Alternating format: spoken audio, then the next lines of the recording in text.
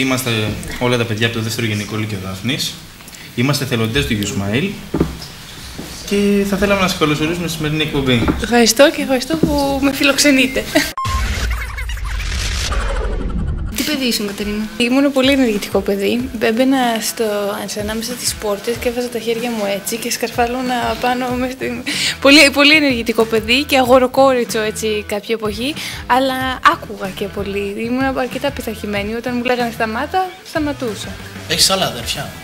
Έχω μια μικρότερη αδερφή, είναι 5,5 χρόνια μικρότερη. Ποιο ήταν το αγαπημένος σου παιχνίδι, Όταν ήμουν εγώ μικρή, ήταν, υπήρχαν όλες οι ταινίες της Disney. Υπήρχαν μικρές μινιατούρες των ηρώων της κάθε ταινίας. Και είχα φτάσει σε ένα επίπεδο που έκλεινα τα μάτια και μου έδινε ένα από τα χίλια που είχα και μπορούσα μόνο από την αφή να καταλάβω για ποιο είναι. Είχες όνειρο από μικρή να ασχοληθείς με τον αθλητισμό; Όταν ε, ήμουνα 12-13 χρονών και περνούσα το δρόμο, έλεγα πρέπει να προσέξω με χτυπήσει η αμάξη γιατί πώς θα κερδίσω τους Ολυμπιακούς Αγώνες.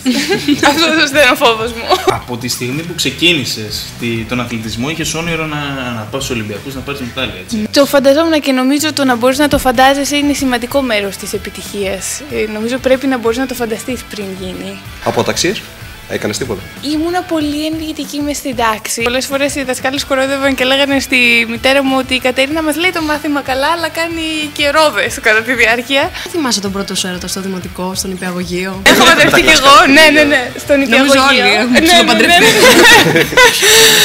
ε, στον υπηαγωγείο και την επόμενη μέρα παντρεύτηκε και η καλύτερη μου φίλη, που, η οποία είμαστε ακόμα καλύτερες φίλες. Αν η μικρή Κατερίνα αυτή τη στιγμή σε έβλεπε, τι νομίζω ότι θα έλεγε; Νομίζω τώρα πλέον ότι θα χαιρόταν ότι τα καταφέραμε, αλλά πριν ένα χρόνο ότι πιθανότατα ότι στα 26 σου έχεις κάνει μόνο αυτά. δηλαδή η μία χρονιά έχει κάνει μεγάλη διαφορά για μένα. Εσύ τι συμβουλή θα έδινες στην Κατερίνα, Να συνεχίζει να διασκεδάζει ό,τι κάνει και να, να επιλέγει αυτά που της αρέσουν και όχι αυτά που αρέσουν σε άλλους να κάνει εκείνη. Άκουγες και μουσική ως έφηβη. Ποιο ήταν το αγαπημένο σου συγκρότημα; Το iPod μου ήταν λίγο ψυχοπαθές. Ε, πήγαινε από Χατζιάννη σε ροκ ε, και λαϊκά. Φοβάσαι ότι μια μέρα θα χάσεις. Μια μέρα θα χάσω σίγουρα, είναι σίγουρο αυτό. Αλλά θέλω να έρθει όσο πιο αργά γίνεται. Και τι συμβουλή θα έδινες σε ένα παιδί που μόλις ξεκινάει τον αθλητισμό; Νομίζω το πιο σημαντικό είναι να, να έχεις τους σωστούς ανθρώπους από γύρω σου και δυστυχώς σαν ένα παιδί είναι δύσκολο να κάνεις αυτές τις επιλογές ε, και γι' αυτό ίσως είναι καλό να ακούς τους μεγαλύτερους εκείνη την περίοδο να, να σου προτείνουν εκείνοι ποιοι είναι οι σωστοί άνθρωποι να έχεις από γύρω σου. Πιο δύσκολο για σένα, ας πούμε, σαν αθλήτρια, είναι οι προπονήσεις ή ένα συγκεκριμένο πρόγραμμα διατροφής το οποίο πρέπει να έχεις; Η διατροφή. Του λόγω του αθλητισμού έχεις χάσει κάποια σημαντικά χρόνια από τη ζωή σου, π.χ. ταξίδια, διακοπές, καλοπέραση. Λοιπόν, να σα πω πρώτα απ' όλα, έχω χάσει την πενταήμερη. Αυτό είναι Αυτό είναι σκληρό. Δεν είχα ποτέ αυτή την αίσθηση ότι έχω κάνει θυσίες, ότι έχασα την πενταήμερη, έχασα το ταξίδι. Οι περισσότεροι καλύτεροι μου φίλοι ήταν από τον αθλητισμό έτσι κι αλλιώς. Πάντα έλεγα και από μικρή κιόλας ότι αυτά είναι επιλογές. Γιατί όταν αρχίζουν να γίνονται θυσίες, νομίζω τότε παίρνει την κάτω βόλτα. Είχε κερδίσει το χρυσό μετάλλιο στο ευρωπαϊκό και πριν από αυτό στο, το καλοκαίρι πάλι το χρυσό.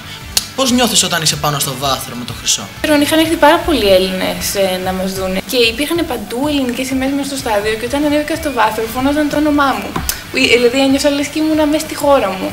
Το στορίο δεν ήταν έτσι για παράδειγμα, γιατί τελευταία στιγμή υπήρχε και ένα θέμα υγείας με ένα παιδί από την ομάδα ε, και δεν είχε έρθει κανείς τελικά να με δει στην απονομή. Ε, και είναι, η, κάθε, η κάθε στιγμή είναι διαφορετική. Εδώ στην Ελλάδα, όταν σε συναντούν στον δρόμο, τι σου λένε; Με αναγνωρίζουν συνήθως ε, παιδάκια. Δηλαδή δεν θα με αναγνωρίσει ο γονιός όταν είναι μια οικογένεια, θα με αναγνωρίσει το παιδάκι. Και μου αρέσει αυτό, μου αρέσει πολύ. Η εμπειρία σου με το You Smile τώρα, πώς ε, σου έχει φανεί; Ε, μ' αρέσει πάρα πολύ. Καταρχάς, μου αρέσει πάρα πολύ που είστε κι εσείς και υπάρχουν ε, volunteers έτσι, από μικρότερα παιδιά. Νομίζω είναι πολύ σημαντικό να μην είναι μόνο ενήλικοι. Σε ευχαριστούμε για ακόμα μια φορά, Κατερίνα, που μας θύμισες με την παρουσία σου. Και εγώ σε ευχαριστώ. Πολλές επιτυχίες. Πολλές επιτυχίες σου ευχόμαστε. Και να είσαι. Και να συνεχίσει να είσαι πρωταθλήτρια. Ευχαριστώ. Πάντα υγιής, έτσι. Μπράβο, το πιο σημαντικό. Ευχαριστώ.